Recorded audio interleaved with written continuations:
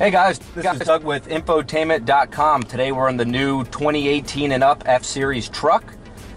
You notice this particular truck has the small 4 inch display.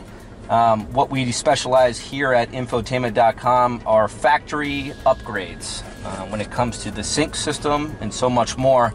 So today we're going to upgrade to the nice Sync 3 system with the embedded navigation. Um, just a really cool upgrade that we offer here.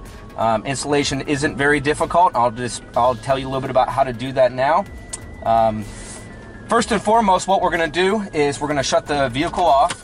A lot of times we recommend to disconnect the negative battery terminal just to make sure there's no power um, going to the uh, stereo system. But in any case, what we're going to start with, this little cubby up here, um, what you're going to do is remove this little rubber tray liner and then there's two seven millimeter screws here. We're gonna go ahead and remove those.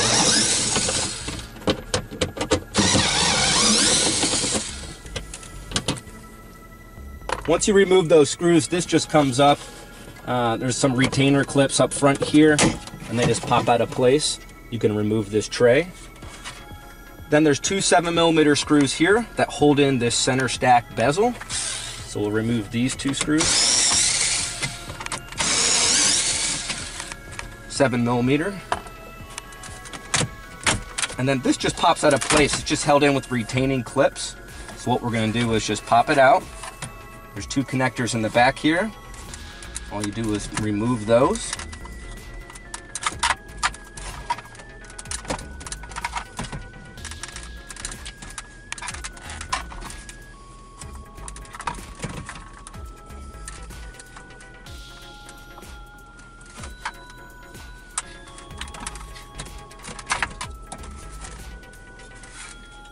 Now up on top here, there's two uh, series of buttons here, and those are also plugged in in the back here. So we're gonna wanna remove those connectors.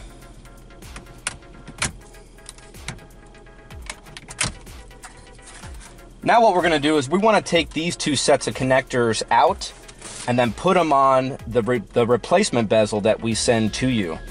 It's really easy to do. All we're gonna do is come in from the back here. There's two clips on each side. So we're just gonna wanna push those clips in and then slide the button out. Then put it in the same way. It'll snap right into place.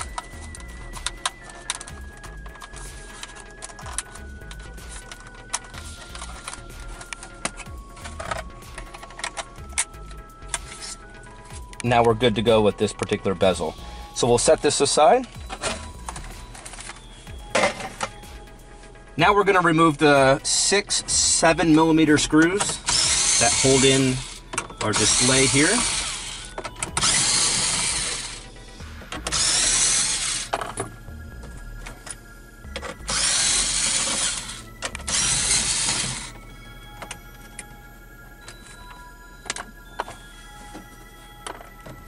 Once the screws are removed, we can remove this and unplug this connector here. You're gonna push this little pin or connector in, then this lever will slide over, and then this connector will come out.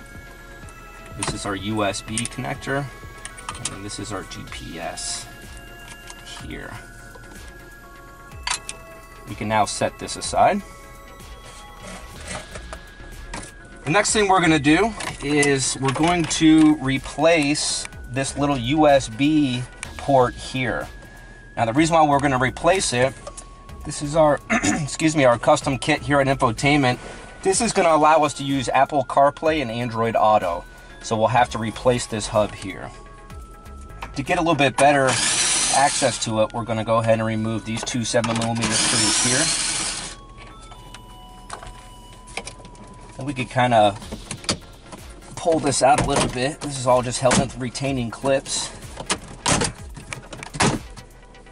And that just gives us a little bit more access. So what I wanted to show you is this little hub here is held in with the uh, tab on the top, then two on the bottom. So what we're gonna wanna do is put our hands in here and then get access to these tabs, push them in, and then slide it out.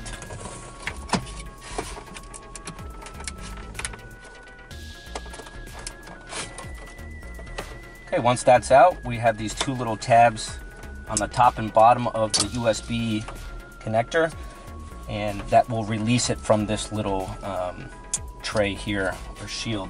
So we'll set that aside. Now what we're gonna do is we're gonna unplug the cigarette lighter, which is located right next to it.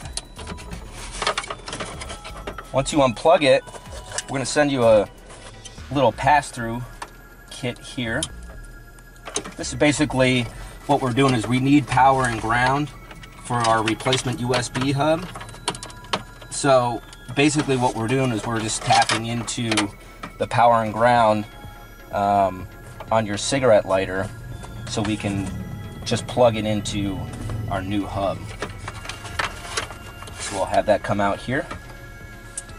Now to install the new hub, all we're gonna have to do is just plug in this connector here, which again is just power and ground. Then we're gonna send you a little conversion cable to make sure the USB goes from um, the larger port down to the mini. And then the mini will plug into our USB port here on the bottom. So again, make sure the one tab is on top, the two are on the bottom. And then this just snaps into place. We can now install the two screws here.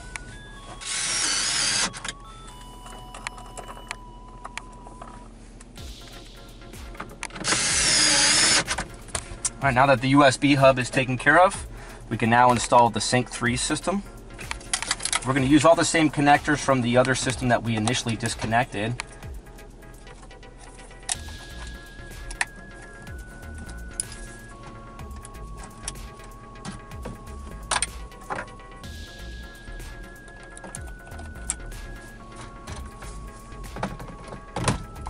Once we do that, we're gonna use the same six screws to hold in the Sync 3 system.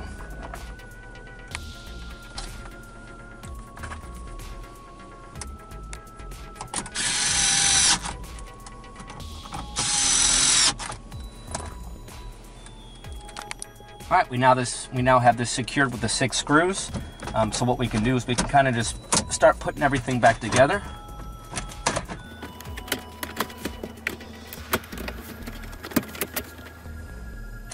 Now we can install the bezel that we send you.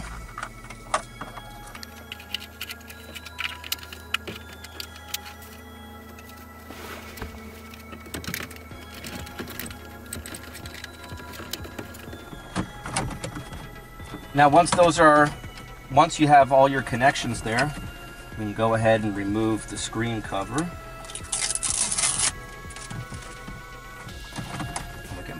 Pop in our new bezel. We can install the two 7 millimeter screws on the top here.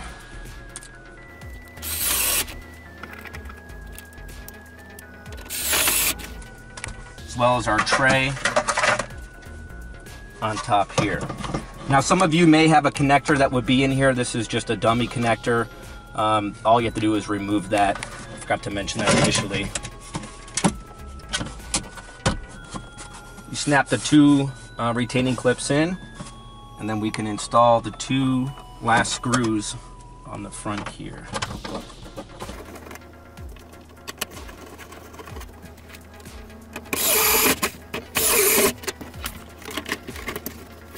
All right, guys, now that everything's buttoned up and back in its place, uh, let's go ahead and start the truck and check it out.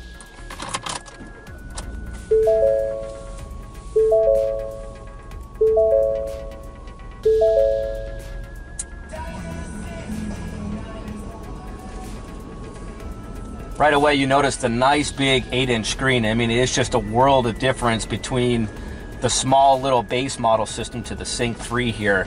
Um, as I mentioned, these are all pre-programmed for plug and play. Um, it's not like you can run to the dealer and buy one of these. I mean, the, there's the programming on these is it takes a long time. So you have to make sure you give us your VIN when you go to our website to purchase it. Give us your VIN so we can make sure that everything's programmed properly, including your steering wheel controls, um, uh, you know, backup camera, which you'll notice here, just a big difference in the camera image between the small screen and the nice big 8 inch screen. Um, just all sorts of programming that goes involved in this. Um, so be sure to give us your VIN. In any case, uh, let's check it out. So in the audio feature here, we have AM, FM. Now, if you guys want to add satellite radio or HD radio, now's the time to do it. That's an option on our website to add it to your cart, and we'll send you a replacement CD player that has the integrated satellite radio. Um, so be sure to, to do that if, if you're interested in satellite radio or HD radio for that matter. But you have your sources here uh, within the audio. Your phone, you will have to repair your phone to the new Sync 3 system. Um, navigation, now we do have two different styles. We have these with navigation, embedded navigation, and without navigation.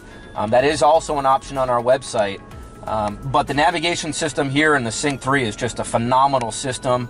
It has all the traditional features a nav system has and more. Uh, 3D landmarks, um, you name it. It's just a real cool system. Um, destination inputs, you could save um, your home, work, favorites, all the points of interest you could possibly think of. You can tell it where you want it to go. When it speaks to you through the sounds, um, it'll speak to you through the actual audio system of the truck. It's not like the cheap little ones you put up on the windshield or, or even with your phone for that matter. Um, but that's just a real cool nav feature. Uh, within the apps feature, um, once you pair your phone and, and do the sync, you'll be able to add more apps in this section here. Um, in the settings, um, you can adjust your CarPlay and Android preferences, the vehicle, uh, all sorts of stuff within this menu here. Uh, but before I close, I really want to just show you guys real quick um, Android Auto and Apple CarPlay. So this is Android Auto. Um, those of you with the Android-based systems here, um, you do get the navigation feature through here. Google Maps. It will speak the directions to you. On your way to 733 Bear Creek Circle, traffic is light as usual. Uh, you have your phone, so you can make calls, see who's calling, things like that. Uh, this is your basically your home button. Um, this is for your music to control your music and then this is how you return to sync. So those of you who have Android, um, it's a, such a cool feature to have the Android Auto. Um, now those of you with an Apple device, I'll demonstrate now. Apple CarPlay. So similar to the Android device, um, you have these these keys. Whether you want to do phone call, you push this little button here to return uh, back to the main menu um, your Apple Music, your Maps, Apple Maps. Similar to the Android device, it will take you and speak to you through the speakers, which is pretty cool. Uh, messaging. Um, this will bring you back to the, the main sync menu. You can go back in by pressing that. Pandora, Spotify, whatever you want, you can you could set up through here, which is really cool. Um, but in any case, um, we do this upgrade and so much more at uh, infotainment.com.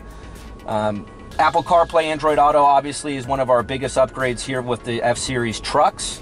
Um, but we can also do front cameras, rear cameras, cargo cameras, um, side cameras, all sorts of cool stuff. As I mentioned, satellite radio upgrades, HD radio, uh, you name it. So come check us out at infotainment.com. Thanks for watching, guys.